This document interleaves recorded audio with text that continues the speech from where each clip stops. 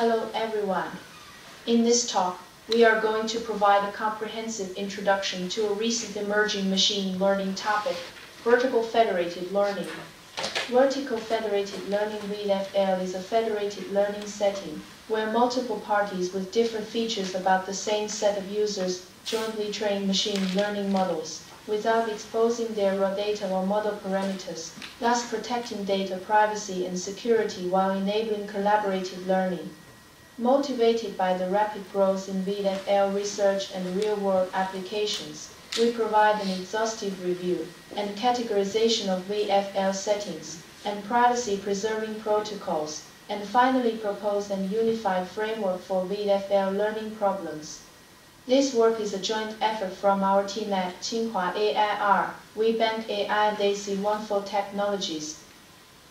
The outline of this work is as follows.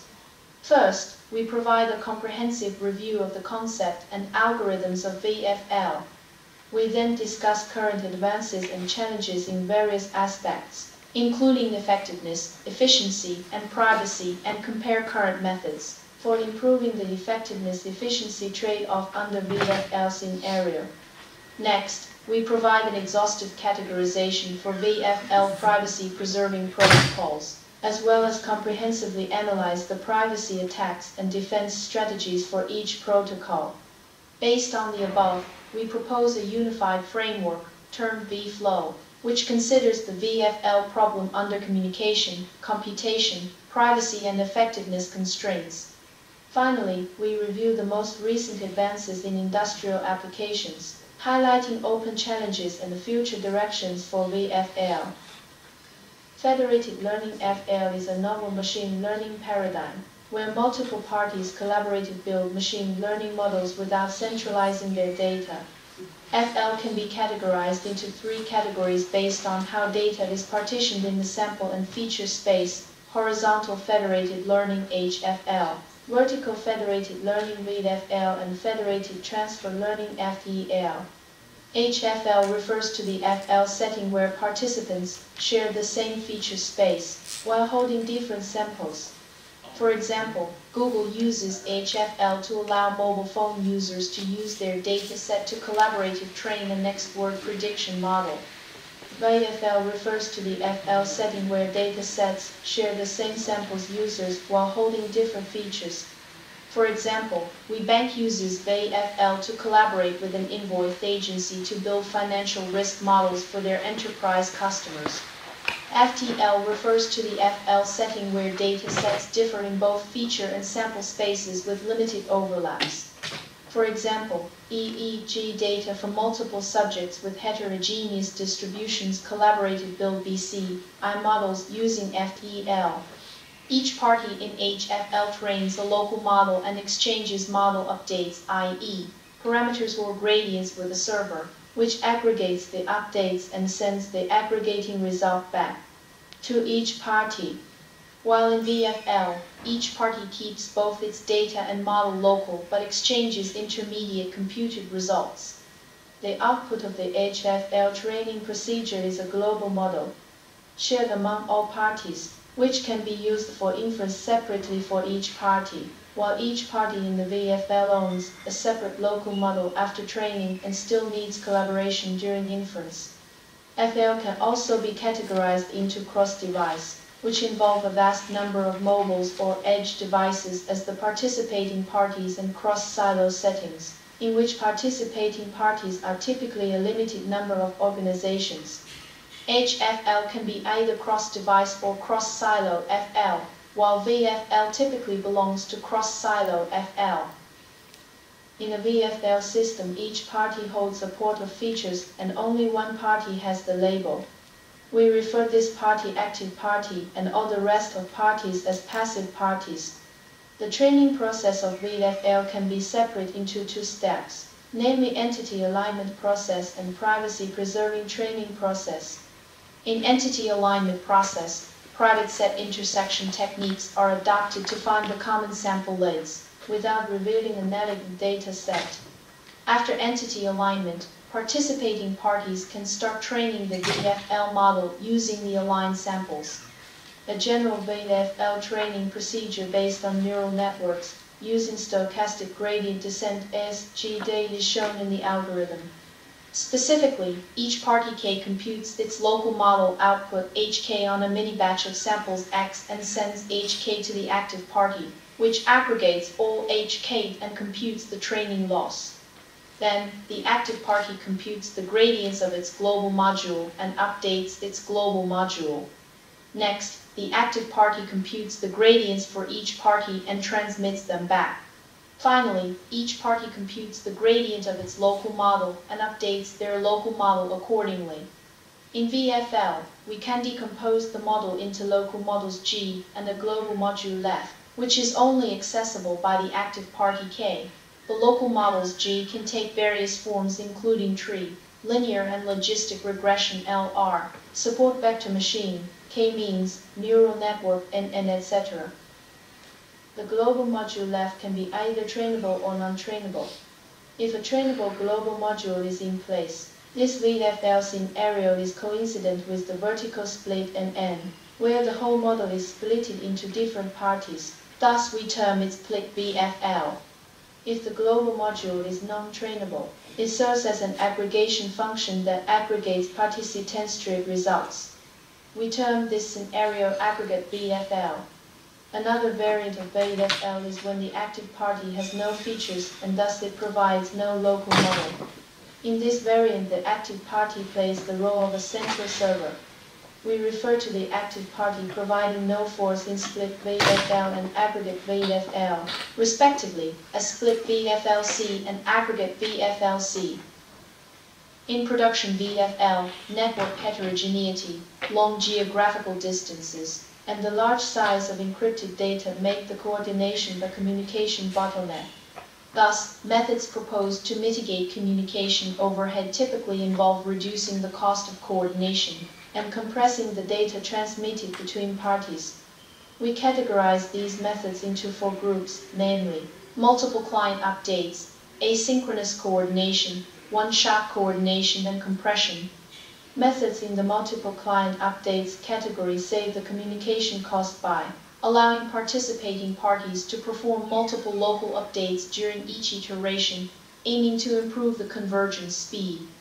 Asynchronous coordination methods typically enable each party to upload and download intermediate training results, as well as train local models as in Ruxiency, so that the coordination time can be significantly reduced. One-shot communication methods alleviate communication overhead by coordinating only once during the entire training procedure. These methods typically follow a two-step training procedure. One, all parties extract latent representations from their original data using unsupervised learning. To the active party trains the global model using these latent representations. Compression is a commonly used approach in VFL to alleviate the communication overhead by reducing the amount of data transmitted among parties. Principal component analysis, autoencoder, and sparsification are commonly used compression methods. Conventional VFL is only able to utilize aligned labeled samples. The availability of aligned labeled samples is scarce in many real-world applications, resulting in unsatisfactory performance. Moreover, the collaborative inference is required since each party only has a submodel after training. To address these limitations, the literature has proposed various directions toward better utilizing available data to build a joint VFL model or helping participating parties build local predictors. We dissect a virtual data set in a two-party VFL setting into several sub-data sets to illustrate which portions of the virtual data set are utilized by a VFL algorithm to train models. Specifically, D denotes the labeled and aligned samples, which is used by the conventional VFL, whereas DAU denotes aligned but unlabeled samples. DU, UA, and DU, UB denote an aligned and unlabeled samples of party A and party B, respectively. DULA denotes an aligned and labeled samples of party A, for enhancing the performance of the joint model, existing works typically utilize analogous samples through self-supervised or semi-supervised learning methods to improve representation, learning capability of participating parties models. To help the active party build a local predictor, existing works typically leverage knowledge distillation techniques to transfer knowledge of teacher models, obtained through VFL to the active party's local models for enhancing model performance. To help passive parties build a local predictor, existing works typically treat the active party as the source domain that has a large corpus of labeled samples and the passive party as the target domain that only has unlabeled samples or a limited amount of labeled samples. These works leverage VFL as the bridge to transfer knowledge from active party to passive parties. The privacy protection of VFL needs to deal with both transmitted intermediate results TIR and internal intermediate results IIR, such as local gradients. Based on what is protected and exposed during VFL training and inference, VFL protocols can be summarized into five types, including basic protocol P1 which keeps private data and models local but transmit plain text intermediate results. Standard protocol P2 which further protects transmitted intermediate results by cryptography. Enhanced protocol P3 which further protects entire training protocol by utilizing protection techniques like secure multi-party computation MPC. Strict protocol P4 which protects training protocol and learned models by using privacy-preserving techniques such as secret sharing and hybrid schemes that combine HE and SS. In literature and applications, there are also cases where the security assumption of P1 is relaxed, resulting in a relaxed protocol P0 in which label or model are assumed non-private. Various kinds of attacks have been tested to be possible under protocols introduced in the above. These attacks can be classified into data reconstruction attacks, which includes label inference attacks and feature reconstruction attacks, and backdoor attacks regarding whether the attacker fails to adhere to the VFL protocol. If the attacker does not deviate from the VFL protocol, but only attempts to learn data information from the other party, it is regarded as honest, but curious. Otherwise, the attacker is regarded as malicious. Feature reconstruction attack can be launched by inverting private local models, while label inference attack can be done by inverting transmitted gradients, or by utilizing auxiliary label data to accomplish model completion. On the other hand, backdoor attacks can be done by replacing local data with triggered poison sample or noisy sample or by failing to transmit intermediate results to the other party. Label inference attacks can be done by exploiting sample level gradients or batch level gradients or trained models. When the VFL applies P1 protocol, a passive party B, also the attacker, has access to sample level gradients, thus can exploit this information to conduct direct label inference DLI and can achieve accuracy up to 100% if the active party adopts an untrainable global module such as a softmax function. For special scenarios like binary classification, the attacker can deduce labels from sample level gradients by mounting norm scoring NS or direction scoring DS attack even when the global module is a trainable model e.g. neural network. When the VFL applies the P2 protocol, the passive party VIE the attacker cannot obtain sample level gradients since it is protected by encryption, but may have access to batch level local model gradients. However, it is shown that it is still possible to infer the true labels with high accuracy through gradient inversion attack GI or the residue reconstruction attack RR. When the VFL applies the P3 protocol, no training information is revealed to any party but only the final trained local model. A possible label inference strategy is for a passive party to fine-tune its trained local model with an inference head using auxiliary label data, and then predict labels using the complete model. This attack is called passive model completion PMC, in which the passive party is semi-honest.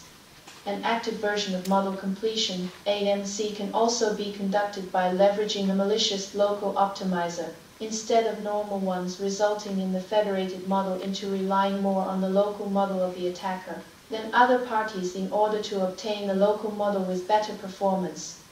An individual's original feature is at the heart of privacy protection. because it contains sensitive information that is not allowed to share. Various attacking methods has been proposed, typically under the setting where the active party with labels A is the attacker, who attempts to recover features of a passive party B. When VFL applies the P0 protocol, that is under white box setting in literature, there are mainly two ways to conduct feature inference attacks. Model inversion during the inference phase, like ESA, PRA and GRN, and gradient inversion during the training phase like CAFE. On the other hand, under the black box setting, attackers typically have some prior knowledge about the model, like BFI, RMA and PAA, or data, of the passive party in order to conduct feature inference successfully. Malicious backdoor attacks can be divided into two main categories, targeted and non-targeted, depending on whether the attacker has a determinate backdoor target or not.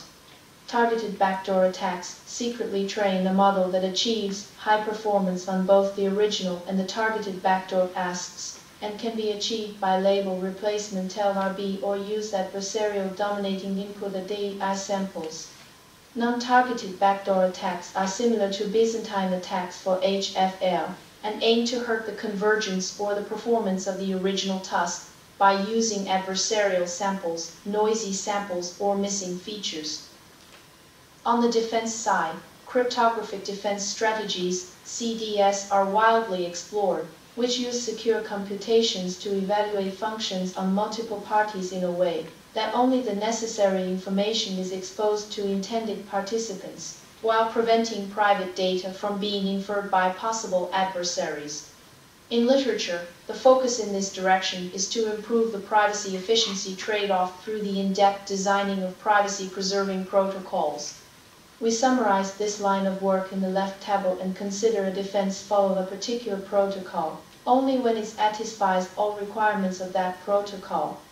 Multiple research works focus on designing CDS to protect the data privacy of vertical linear and logistic regressions like Gastener, Hardler, etc.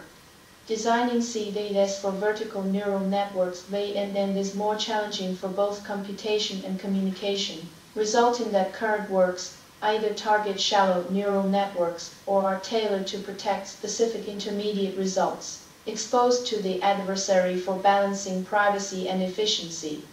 CDS can as low be adopted to tree-based VFL, producing protocols like Secure Boost and Secure Boost Plus. Basic NUN mechanisms relies on adding noise DP, gradient discretization, gradient sparsification, and their hybrid or disguising label, like CAE and DCAE to defend against data inference attacks and backdoor attacks. Other emerging defense strategies are designed to thwart attacks that are difficult to defend against by traditional defense strategies, and many of them are for particular attacks. MARVELL and Max-Norm defend against norm-scoring NS and direction scoring DS attacks by adding optimized noise to the sample level gradients confusional autoencoder CAE and discrete SGD, enhanced confusional autoencoder DCAE protects label information by encoding the original real label to soft fake labels with maximum confusion. PE loss and decorrelation are two auxiliary losses that are proposed to defend against the model completion MC attack and spectral attack SA, respectively. Random masking RM is proposed to defense against the residual reconstruction attack RR by injecting zeros into randomly selected positions of the HE, encrypted sample level gradients, to prevent the RR from reconstructing these gradients correctly. Fake gradients FG is proposed to defend against catastrophic data leakage in VFLCAFE by replacing the true gradients with randomly generated ones while keeping their corresponding positions. DRAVL defense against model inversion MI through adversarial training. Masquerade defense MD is proposed to thwart the binary feature inference attack BFI by misleading the attacker to focus on randomly generated binary features. AP Palier MG thwart the protocol-aware active attack PLA by masking encrypted sensitive information to prevent the attacker from learning the precise value of the passive party's output and private features. Compared to traditional defenses like DP and GS, emerging defenses further improve the effectiveness of defenses. CAE and DCAE both show promising effectiveness in defending against targeted backdoor attack. Our VFL defends against both target and non-target backdoor attacks in VFL scenarios by robust features of space recovery. Besides effectiveness, efficiency and privacy, a critical challenge for establishing a stable and sustainable federation among parties is the lack of fair data valuation and incentive designed to allocate profits. In addition, a responsible VFL framework should also address various bias problems towards certain groups of people. Moreover, as industrial use cases grow in fields that are highly regulated, such as financial and medical fields, to make the trained VFL model explainable to authorities and compliance is of paramount importance. We propose a comprehensive VFL framework consisting of major considerations for setting up and operating the VFL algorithm. We term this framework VFlow. In VFlow, we take into account major constraints, including privacy, efficiency, and fairness, to guide the design of a VFL algorithm from aspects of the model architecture and partition settings, effectiveness and efficiency improving strategies, privacy defense strategies, as well as fairness improving strategies covered in this work. In addition, VFlow consists of a separate risk evaluation module that comprehensively evaluates data attacks and defense strategies.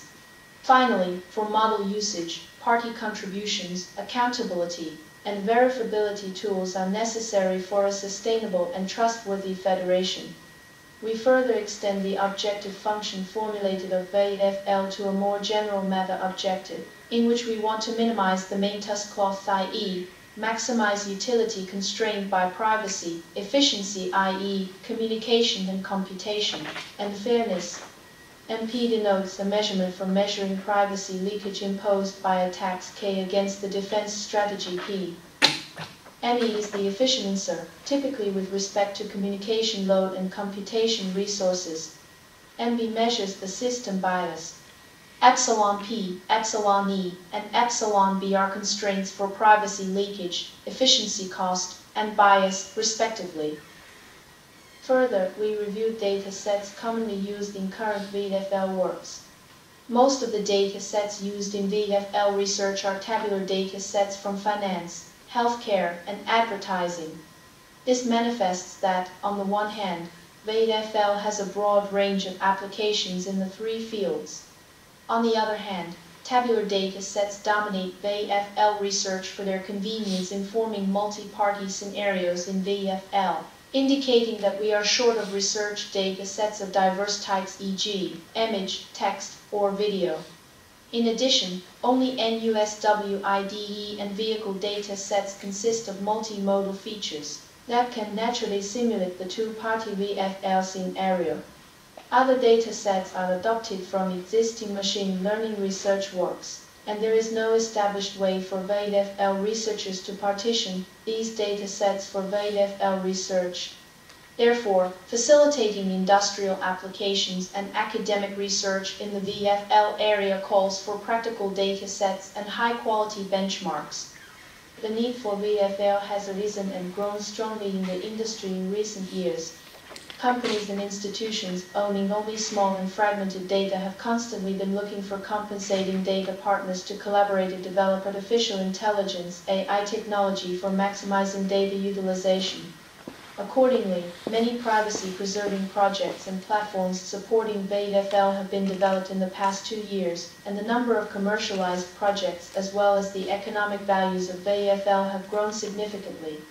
Top open source VFL projects include WeBank's Fate, OpenMined's PySyft, Fedon, Baidu's PaddleFL, ByteDance's Fedlearner and February framework which is jointly proposed by National University of Singapore and Tsinghua University. As for major applications, they are mainly concentrated in a few industries. In digital advertising, advertisers and advertising platforms, such as social media companies often have different attributes of the same group of people. Advertisers have customers' purchase behaviors and social media has customers' profiles and social preferences, etc. Therefore, it is natural for them to build data collaboration models via VFL. For example, ByteDance developed a tree-based VFL algorithm based on the Fedlearner framework, which significantly improves its advertising efficiency. Based on the VFL module in its 9 and FL framework, JD has established a joint model for advertising, which has promoted the cumulative increase of all participating parties' income. Tencent applied its Angel PowerFL platform to establish a VFL federation between advertisers and advertising platforms to boost model accuracy. In financial field, marketing and risk control are two important tasks.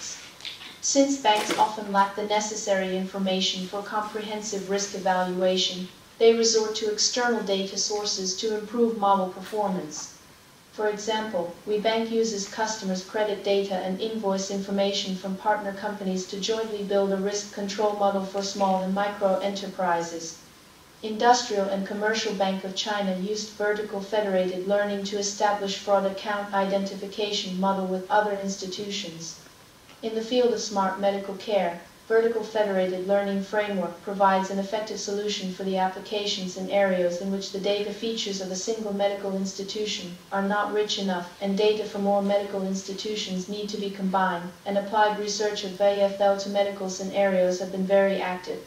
Finally, VFL have been applied in wireless networks for access mobility management and session management, cooperative sensing, and network disaggregation. VFL have also been applied successfully in emerging areas such as smart grid and intelligent manufacturing. Finally, we discussed some of the major open challenges facing the development of VFL frameworks and proposed possible paths in the future. The first challenge is establishing interoperability between different VFL platforms. In recent years, more and more VFL projects and open source platforms have been developed and applied in real-world scenarios. However, different platforms adopt different sets of secure computation and privacy-preserving training protocols, making cross-platform collaboration difficult and turning data silos into platform silos. One possible road to solve this challenge is to enforce the interoperability of platforms by developing algorithm and architecture standards, so that platforms can connect with others more readily. Another road is to develop seed projects to support fundamental Funkin function lines and modules for interoperability as a plugin tool for diverse platforms.